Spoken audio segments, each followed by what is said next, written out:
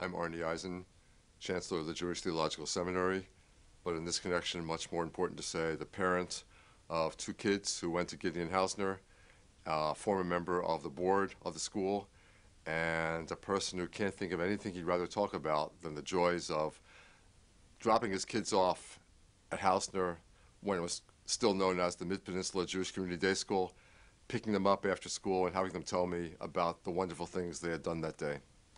You know, people ask me, as an expert on American Judaism and now as a leader of one of American Jewry's great institutions, why are day schools so important?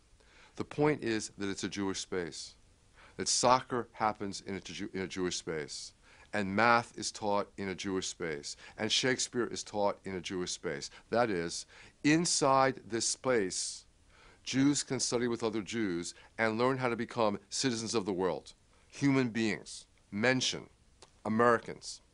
Here, Judaism is front and center, it matters, and everything else that flows into the child flows in through this Jewish time and space. That is crucial to the formation of identity. That's what a great Jewish day school like Hausner can achieve, and that's what, in fact, from my experience, it has achieved.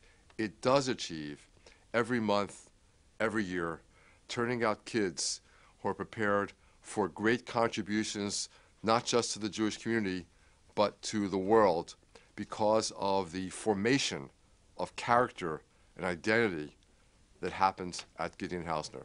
That's why it gives me such great pleasure to be part of this celebration marking the achievements of many years and to look forward to many, many years to come of similar achievement.